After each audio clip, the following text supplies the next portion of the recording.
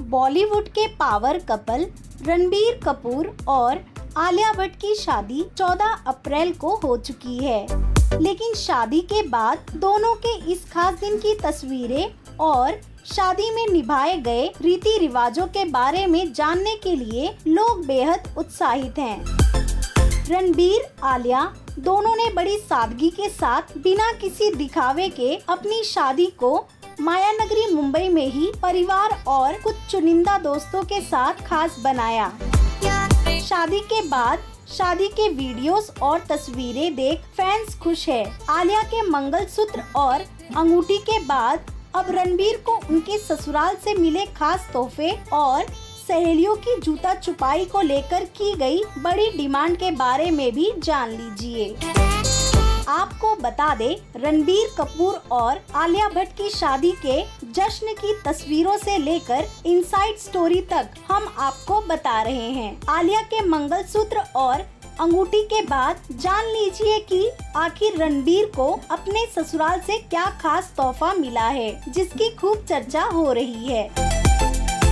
वहीं कपूर परिवार की तरफ़ से, जहाँ आलिया को एक नायाब हीरे की अंगूठी मिली, वहीं रणबीर कपूर को आलिया ने बैंड पहनाया। खबरों की माने तो दूल्हे राजा को सासू माँ सोनी राजदान की तरफ़ से खास तोहफा मिला है, जिसकी कीमत ढाई करोड़ रुपए बताई जा रही है।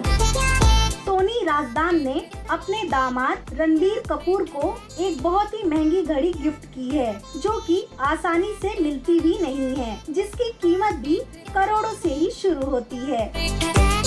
वहीं अगर शादी हो और जूता चुराई की रस्में ना हो, भला ये कैसे हो सकता है? बॉलीवुड की इस मच अवेटेड शादी में भी जूता चुराई की रस्म अदा की गई और जूते के बदले रणबीर की सालियों ने ऐसी डिमांड की जिसको सुनने के बाद आपके भी होश उड़ जाएँगे। आलिया भट्ट की गर्ल गैंग ने अपने जीजू से जूता चुराई में साढ़े ग्यारह करोड़ रुपए मांगे। हालाँकि पैसों को लेकर चले लंबे मज़ाक और खींचतान के बाद आखिरकार उन्हें एक लाख रुपए का लिफाफा दिया गया।